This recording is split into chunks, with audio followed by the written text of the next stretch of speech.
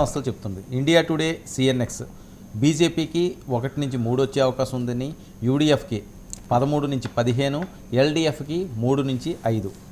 ABP sea water ఒకటి నుంచి మూడు బీజేపీకి యూడిఎఫ్కి పదిహేడు నుంచి పంతొమ్మిది ఎల్డిఎఫ్కి ఒక్క సీటు కూడా రాదు అని. India Today Axis My India. రెండు నుంచి మూడు బీజేపీకి యూడిఎఫ్కి పద్నాలుగు పదమూడు నుంచి పద్నాలుగు ఎల్డిఎఫ్కి ఒకటి. Times now TG. ETG sorry. బీజేపీకి ఒకటి యూడిఎఫ్కి పంతొమ్మిది ఎల్డిఎఫ్కి ఒక్క సీటు కూడా రాదు అని అంటే టూ థౌజండ్ నైన్టీన్లో కూడా ఇదే పరిస్థితి మీకు. బీజేపీకి బీజేపీకి ఎప్పుడు కూడా కేరళలో ఓపెనింగ్ లేదు. మొదటిసారి ఈసారి కొన్ని ఒపీనియన్ పోల్స్ బీజేపీకి ఎంట్రీ దొరకవచ్చు కేరళలో అంటున్నారు. అవును. సో ఇది ఒక హిస్టారికలే. ఎందుకంటే బీజేపీ కేరళ చరిత్రలో ఇప్పటి వరకు బీజేపీకి ఎంపీ సీట్ లేదు.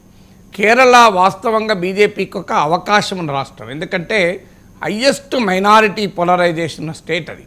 దాదాపు సగానికి దగ్గర దగ్గరగా మీకు ముస్లిం క్రిస్టియన్ పాపులేషన్ ఉంటారు. సో అంతే హిందూ ముస్లిం క్రిస్టియన్ అనేది డివైడ్ అయి ఉంటుంది. సో మళ్ళీ క్రిస్టియన్ పార్టీలు క్రిస్టియన్ సంఘాల ఇన్ఫ్లుయెన్స్ చాలా ఎక్కువ. మల్లాపురం ఈ ప్రాంతంలో ముస్లింల డామినేషన్ ఇప్పుడు వాయనాడ్ సీట్ ఉంది. టోటల్గా నీకు హయ్యెస్ట్ అరవై శాతం ముస్లింలే. సో అలాంటి ముస్లిం కన్సాలిడేషన్ ఐయుఎంఎల్ రూపంలో ముస్లిం లీగ్ ముస్లింలకు పార్టీలు ఉన్నాయి. కేరళ కాంగ్రెస్ రూపంలో క్రిస్టియన్లకు పార్టీలు ఉన్నాయి. అలాంటి స్టేట్లో హిందూ పాలిటిక్స్ నడపడం చాలా సులభం బీజేపీకి.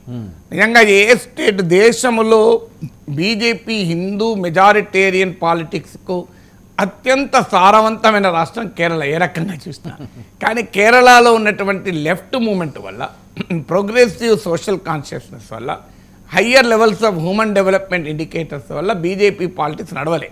ఇది నేను చెప్పడం కాదు కేరళలో సీనియర్ నాయకుడు కేంద్ర మాజీ మంత్రి రాజగోపాల్ బీజేపీకి ఎమ్మెల్యేగా ఉండే దగ్గరగా తిరువన తిరువనంతపురంలో పోటీ చేసి ఎంపీగా ఓడిపోయాడు. ఆయన ఒక్కడే ఫస్ట్ టైం ఎంపీగా వస్తాడేమో అని అనిపించింది. ఆయన అడిగితే బీజేపీ ఎందుకు పెరగలేదంటే కేరళలో లిటరసీ ఎక్కువ అని చెప్పాడు ఆయనే. సో కేరళలో వాస్తవంగా left and progressive social consciousness ఎక్కువ కనుక బీజేపీకి అవకాశం ఉండి కూడా పెనట్రేట్ కాలేదు. కానీ ఈసారి బీజేపీ పెనట్రేట్ కావచ్చని. మీరు లాస్ట్ ఫ్యూ ఎలక్షన్ తీసుకోండి. ప్రతి ఎలక్షన్లో బీజేపీ ఓటింగ్ పెరుగుతోంది.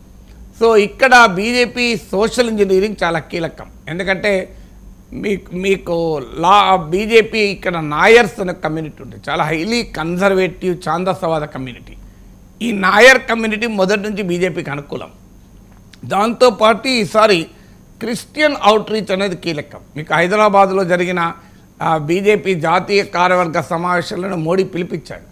మనం పాస్మండా ముస్ సమాజం ముస్లిమ్స్లోకి వెళ్ళాలి అలాగే క్రిస్టియన్స్లోకి వెళ్ళాలి. గోవా క్రిస్టియన్స్ బలంగా ఉండే గోవాలో మనం అధికారంలోకి రాగలిగినప్పుడు కేరళలో ఎందుకు రాలేము? అని ఆయన పిలుపు కూడా ఇచ్చాడు. నార్త్ ఈస్ట్లో మేఘాలయ నా మణిపూర్ నా మణిపూర్ ఇలాంటి స్టేట్స్ ఇవన్నీ కూడా మీకు మా క్రిస్టియన్ పాపులేషన్ చాలా ఎక్కువ ఉన్న స్టేట్స్ కొన్ని అయితే డామినెంట్గా క్రిస్టియన్సే ఉంటారు. అలాంటి స్టేట్లో కూడా మనం గెలవగలిగినప్పుడు ఎందుకు లేదని కేరళలో పెద్ద ఎత్తున Christian outreach JP Nadda Amit షాలు వెళ్ళి క్రిస్టియన్ చర్చ్తో పెద్ద ఎత్తున సమావేశమయ్యారు.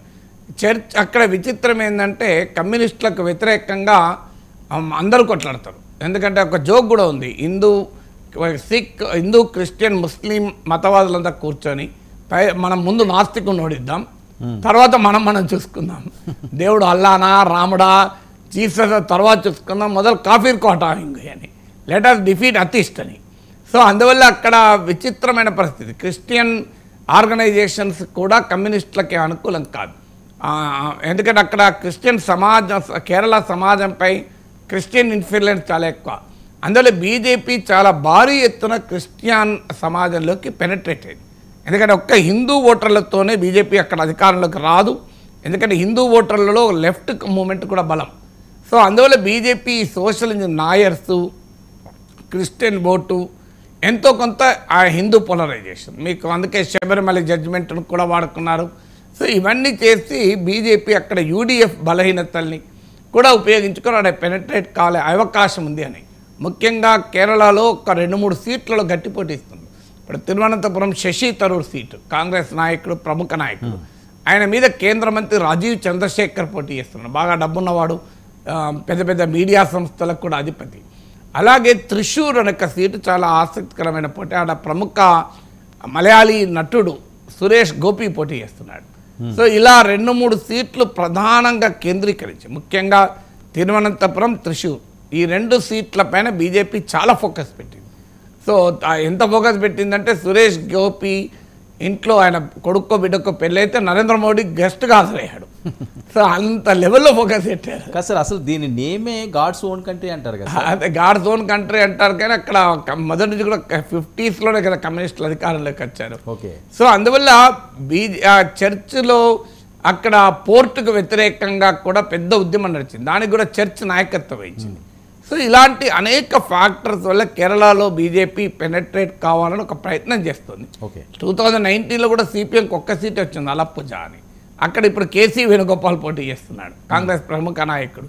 అందువల్ల బీజేపీ ఓటింగ్ గణనీయంగా పెరుగుతుంది బట్ ఐ స్టిల్ డౌట్ కేరళలో నిజంగానే రెండు మూడు సీట్లు వస్తాయా అని. ఓకే. అయితే నేను చెప్పినట్లు తిరువనంతపురం త్రిశూర్లో మాత్రం కేరళలో బీజేపీ కొంత గట్టి పోటీ ఇస్తుందని అంటున్నారు బట్ ఇప్పుడు యాక్సిస్ మై ఇండియా సర్వే ఆశ్చర్యం వేస్తుంది ట్వంటీ నైన్ పర్సెంట్ ఎల్డీఎఫ్కి ఓటింగ్ అంటే ట్వంటీ సెవెన్ పర్సెంట్ బీజేపీకి ఇచ్చారు ఓటింగ్ అందువల్ల నిజంగానే బీజేపీ ఎక్స్పాండ్ అయితే ఒక లాభం అక్కడ కమ్యూనిస్టులు కూడా ఉండొచ్చు. ఎందుకంటే యాంటీ లెఫ్ట్ ఓటు చీలి ఇప్పటిదాకా కాంగ్రెస్ వెనకాల యాంటీ లెఫ్ట్ ఓటు ఉంది.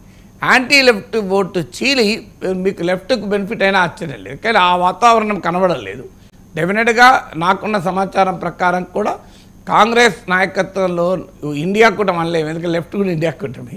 కాంగ్రెస్ నాయకత్వం యూడిఎఫ్కే పై చేయి ఉంటుంది. Only point to watch is BJP అసలు ఓటింగ్ పెంచుకొని నిజంగానే కేరళలో చరిత్రలో మొదటిసారి ఒక్క సీట్ అయినా గెలుచుకుంటుందా అన్నదే something to watch okay sir sir Bihar విషయం